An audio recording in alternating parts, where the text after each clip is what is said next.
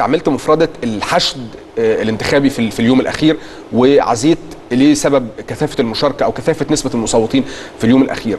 في الانتخابات البرلمانية المسألة مفهومة أن هناك ماكينات حشد معينة حزبية أو قبلية أو اجتماعية أو خلافه.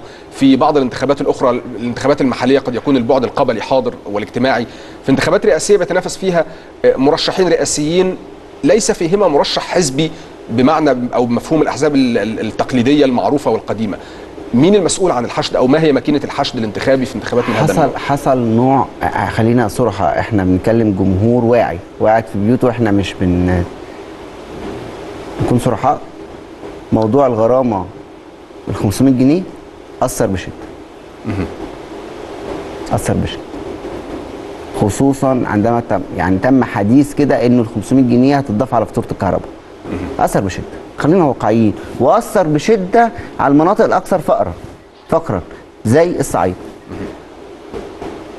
فمن كان لا يرغب في المشاركة شارك.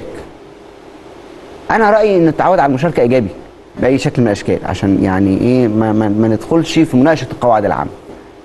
ولكن من لم يرغب في المشاركة وشارك بسبب هذا النوع من ال- ما قيل يعني آه، أبطل صوته.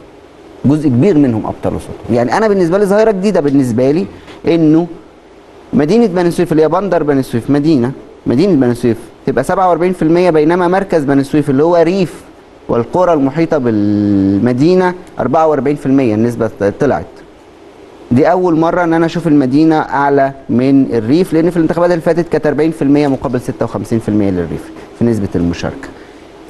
فهو دي الفكرة. يعني إنه يعني إحساس المدينة مدينة الصعيد أحيانا. في بعض مدينة زي ما هي مدينة فقيرة.